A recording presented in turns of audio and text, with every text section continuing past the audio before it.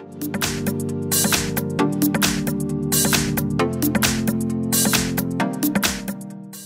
Hi everyone, in front of me I've got Vivo V21 and let me share with you how to update apps on this device.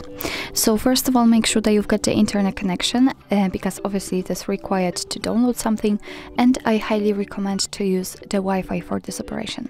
Then we can enter the Play Store, so let's tap on it and let's enter your own account just by tapping on this circle in the right upper corner. Now let's tap on manage uh, apps and device and go to the manage option.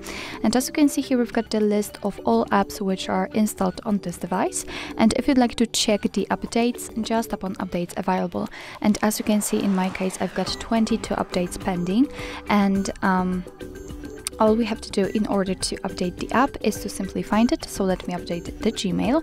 We have to mark the option we would like to update and tap on this update icon and as you can see right now this update is pending. Right now it will be downloaded and after that it will be successfully installed and automatically updated so actually you do not need to do anything more. So actually this is it. This is how to update apps in your vivo v21 thank you so much for watching. I hope that this video was helpful and if it was please hit the subscribe button and leave the thumbs up